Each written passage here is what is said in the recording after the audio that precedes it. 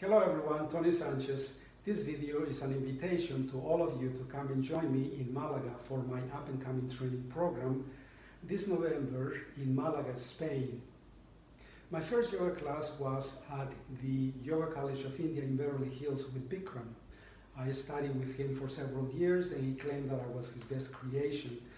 Then I went to India with him and spent some time there studying the techniques at the Ghosh's College of Physical Education. When I came back, I studied under Bikram for the next nine years. After that, I left and opened my own studio and started creating Tony Sanchez Yoga.